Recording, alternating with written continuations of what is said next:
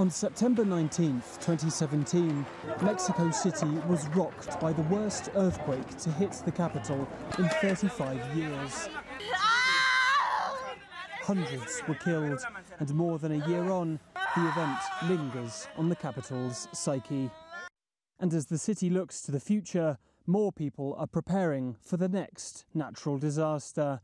It's a mindset that Reynaldo Vela, the inventor of a disaster survival pod, is taking advantage of.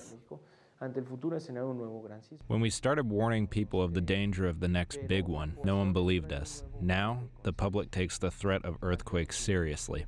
Vela says his survival capsule will shield a person from 500 tons of rubble and allow them to survive for up to a month inside.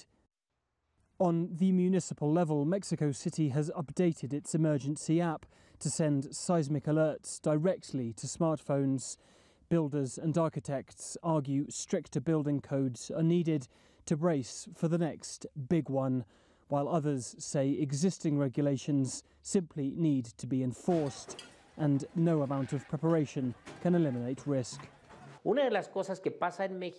In Mexico, we are still expecting a very large earthquake to occur. The problem is that earthquakes still remain unpredictable, and the movement of seismic plates is hard to track. Despite more conscious efforts to prepare, local authorities remain concerned about uncontrolled private development. Jose Pina is the head of civilian rescue operations in one of the capital's largest boroughs. As to whether the population are prepared for another earthquake, I would say not.